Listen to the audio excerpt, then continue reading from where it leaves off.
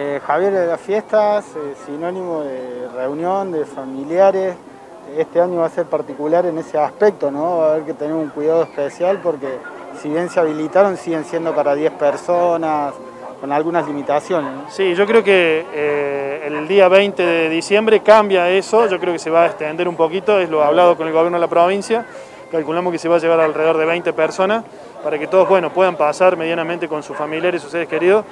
Una fiesta muy importante, ¿no? porque este año tiene una connotación no solo en la parte salud, sino también en la parte social, que hay gente que no pudo estar con sus seres queridos, no pudo compartir, entonces creemos que, bueno, ojalá que esta epidemia nos deje este, trabajar esta fiesta, aunque sea todos juntos. a la par del debate que está ocurriendo por estas horas en Córdoba para tratar de flexibilizar eventos, boliches, espectáculos y demás, está esta situación, ya encendió la costa argentina la alarma de lo que puede llegar a pasar, le está pasando particularmente Mar del Plata, que al no haber estas propuestas, los municipios lo que hacen es tener que estar combatiendo noche por noche todo lo que es encuentro ilegal.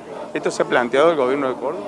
Sí, sí, yo creo que esto nosotros lo venimos planteando, ¿por qué? Porque nosotros nos está pasando, ¿no? En menor medida la ciudad de La Falda, al no tener los boliches abiertos, a tener una restricción horaria en los que es bares y restaurantes, genera las reuniones clandestinas, genera los encuentros en distintos sectores de la ciudad, que hoy lamentablemente no tenemos el personal para estar en todos lados y muchas veces tenemos problemas en algunos sectores. Mucho menos en verano.